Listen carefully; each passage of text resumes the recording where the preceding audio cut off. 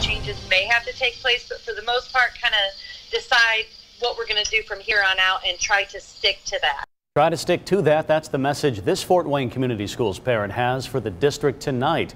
After district leaders sent an email to parents saying that all elementary school teachers will either teach in person or full time remote, but not both. Thanks for choosing us tonight at 11 o'clock. I'm Brian McElhatton. Krista has the night off.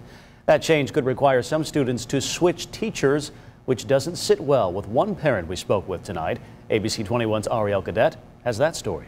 That's right, Brian. Mary Carr says her son loves his kindergarten teacher and she hates the idea that he may have a new one. She does understand, though, that this decision may help lighten the workload for a lot of FWCS teachers. Take a look at that smile. Mary Carr snapped this photo of her son on his first day of kindergarten.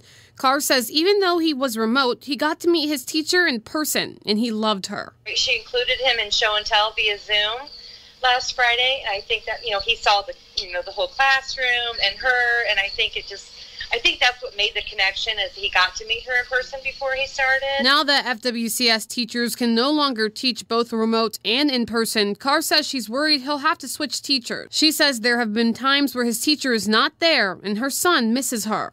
For last week, we did have somebody else from the district, and it really kind of upset him. He kept asking, Why am I not seeing my teacher?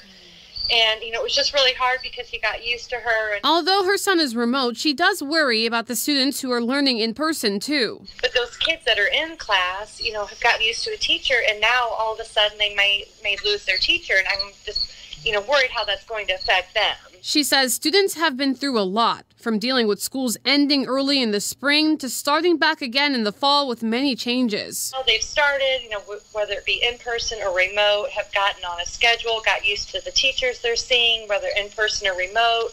And now to think that's all going to change is just like so much for for the little ones to comprehend. Carr says although she's not happy with this change, she does understand that it could help a lot of the teachers who have been juggling so much this school year. We do understand, you know, if it has to change, we will we will adjust. It may take some time, but at the same time, you know, the teachers have families of their own and, you know, they can't do everything.